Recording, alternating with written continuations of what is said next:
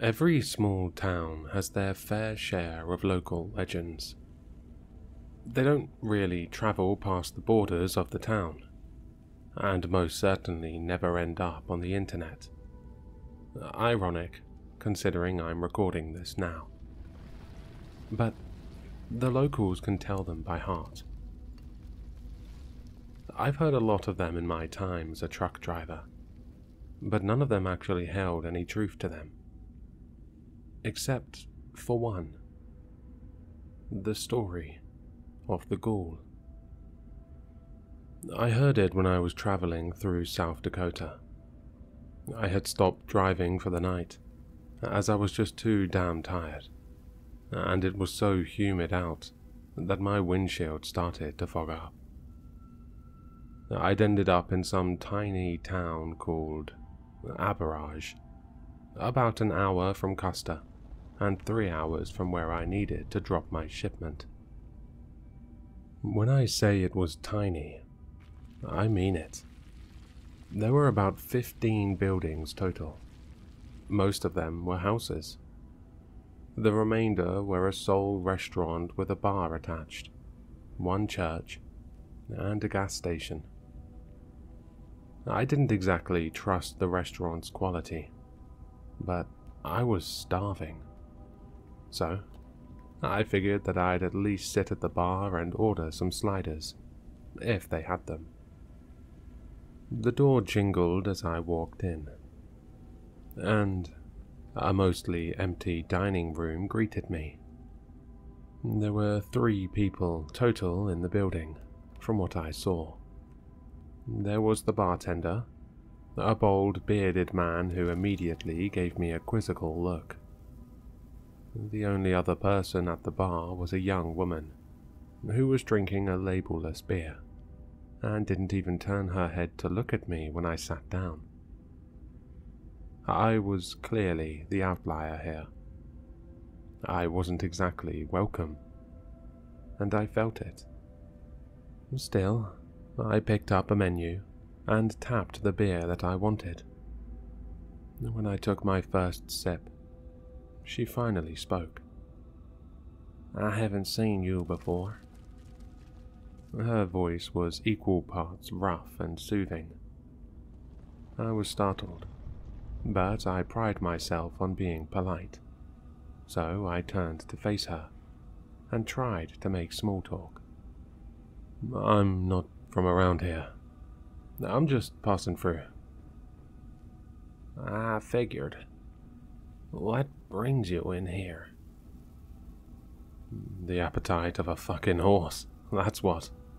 I've been on the road for 11 hours. She giggled. She wasn't bad looking, but wasn't exactly my type either, so I hoped she wouldn't confuse my jokes as flirting. You're funny. I turned away for a moment to signal for another beer, then looked back at her. I have my moments, at least. She looked at the bartender as he passed me my second pour, and waited for him to take my order before she signaled to him. Rico, should we do it? He grunted and walked into the kitchen. She seemed to take that as a yes, and excitedly looked at me. We've got a tradition around here. Everyone who drinks at the bar has to tell a story. It's nothing crazy. But we only have 23 people living here, so we're always itching to hear something new. I'm not a very interesting person, all things considered. You would think I had some crazy stories after traveling around the country. But I never really left the road long enough to see stuff like that. Still, I wanted to put on a good show. So I decided to tell them a story about the first time I saw the ocean. As I munched on my onion rings, I tried to make it as fantastical as possible, and, admittedly, embellished the details a bit. I'd never actually seen a killer whale before, But they didn't need to know that. By the looks of it, the woman was captivated with the story and sat there the whole time with her chin in her hands and her bright eyes trained on mine. I finished spinning my tale and turned back to face the bar, placing a 20 on the counter as a tip. I was about to say goodbye when the woman halted me, with a slight smirk on her face. You got a good speaking voice. Thanks for telling us your story.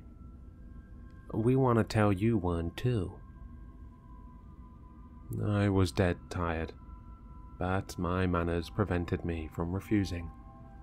So, I smiled and signaled to her to continue. It's the same one I tell everyone who comes through here, because it's the one that sticks with you the longest.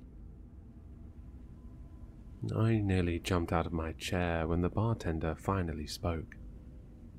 It wasn't even directed at me, but it caught me off guard. The one about the ghoul again. Yes, sir. Unless you got a better idea. He remained silent. She looked at me and began her story. The Ghoul was a local ghost story about something that haunted people who passed through the town. It was a long, pale figure that would only speak one word at a time. It would start haunting someone once they heard its story, and wouldn't stop until they were dead. I sat there, relatively entertained as she described the ways that the ghoul would make people go missing. But I obviously wasn't buying it. But you want to know how you can be sure that the ghoul is after you? How's that? It makes you see stuff, man. Stuff that isn't really there. It'll make you see it, feel like it's real. To me, this story just sounded like a bad drug trip, or an excuse to get me to stay in town. I was blinking in and out of consciousness when she finally finished and decided I'd head back to the motel before she decided that story time would continue. Well, I'm gonna call it a night. You folks have a good one. She stopped smiling and just blankly stared at me. I got up and walked towards the door, pushing it open with my foot. Hey, one question before you go. I sighed and turned around. I just wanted to go to bed. Yeah, what's up? You can see us, right? I wasn't sure if I'd heard her wrong, but what I'd heard was a weird ass question indeed. Who was us? Her and the bartender? Of course I could see them. They were right there. She was starting to creep me out. Um, yeah. She took a sip of her drink and looked at the bartender before turning back towards me. Well, good night. My brow furrowed, and I walked out the door.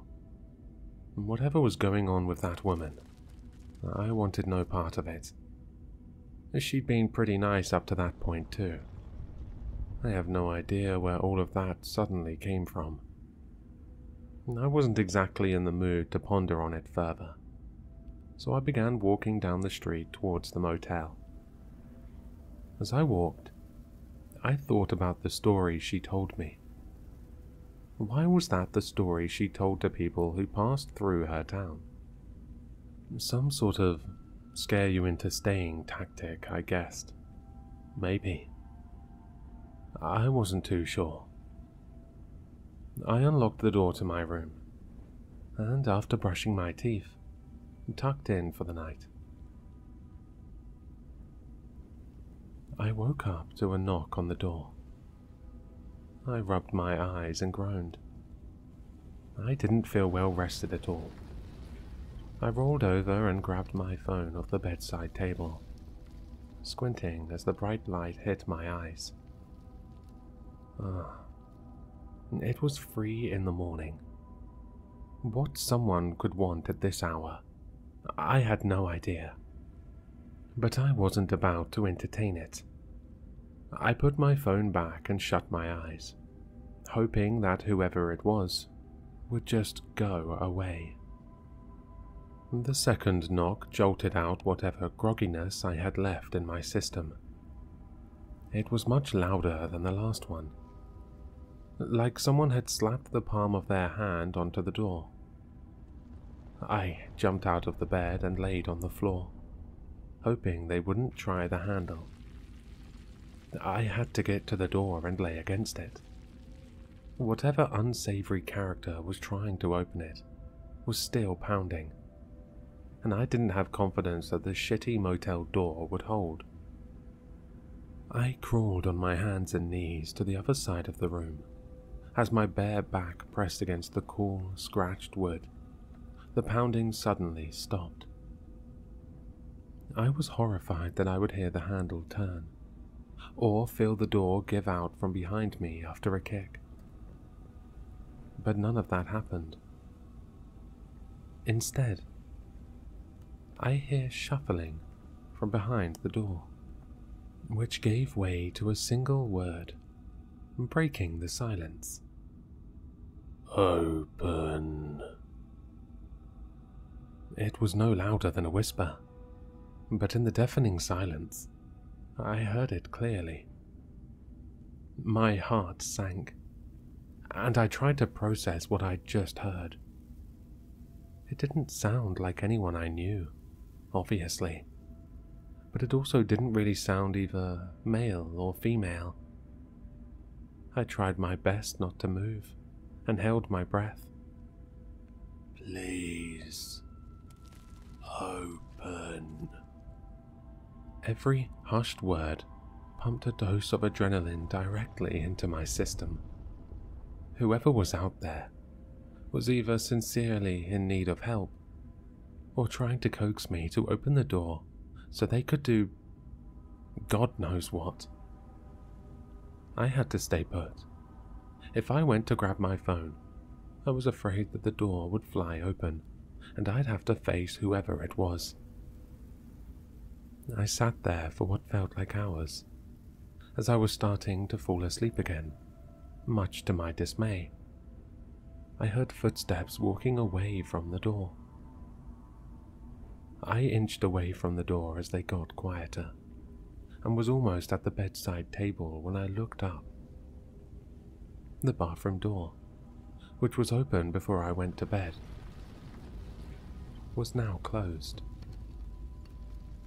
I froze, unsure of what to do.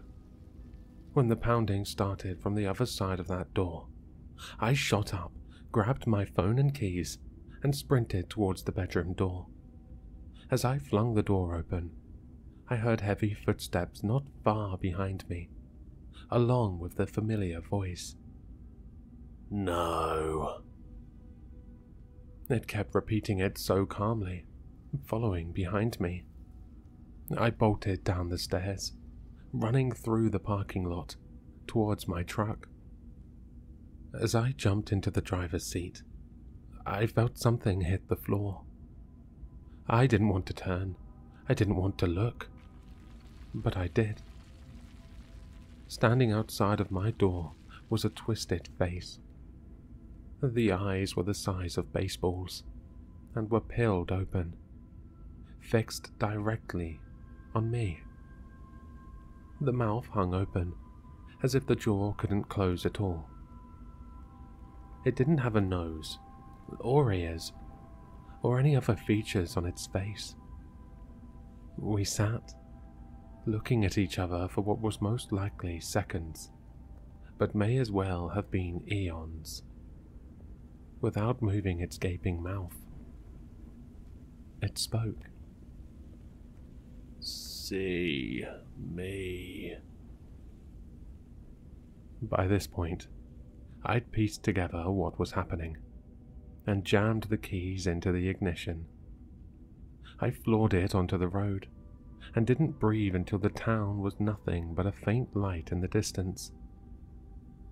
I was exhausted and could barely keep my eyes open. I yawned and slapped myself on the cheek in an attempt to wake myself up. But I could feel myself drifting off. But I was feeling something else too a sense of dread, right in the pit of my stomach. Taking my eyes off the road, I cautiously turned my head to the left. It was still there. Its head was directly centered in my window now, smiling at me. I swallowed the urge to scream and looked back at the road. It couldn't get in and couldn't affect me if I didn't look at it. But what it could do was talk. In its low, haunting voice, punctuated with guttural growling. You see me. It repeated that for hours. I'd almost forgotten what silence was like by the time the sun rose. As the dawn broke and the light began to fill my eyes once again, it went quiet, and only the sound of my tires traversing the bumpy road remained. I looked to the left and saw the trees through my window. Nothing was blocking it anymore. I arrived in Dupree shortly after, and didn't even help the factory workers unload the shipment. I just sat in the driver's seat, smoking a cigarette and thinking to myself. When someone knocked on my window, I nearly had a heart attack. It was the factory supervisor who called to sign off on the product. Are you doing okay? A couple of my guys said you didn't look so hot. I cleared my throat and put my cigarette out in the ashtray. I looked over at him and managed to smile. Yeah, yeah, yeah. I'm alright. A long night, though. Barely got any sleep. Had to leave at 3 a.m. Three in the morning? Huh. How far away were you that you just now got here? I opened the door and stepped out onto the gravel, holding my clipboard. It felt good to make small talk after what I'd been through. I was up in Aberage. Odd little town, for sure. Aberage? I've never even heard of it. I looked at him, expecting him to be kidding me. His brow was furrowed, and he looked concerned for me, if anything. I pulled out my phone and showed him my delivery tracking app, which had marked where I'd stopped for the night. It's right about here. He looked away from the phone and back at me with serious concern on his face now. I've been hunting out there. There's nothing there but woods for miles.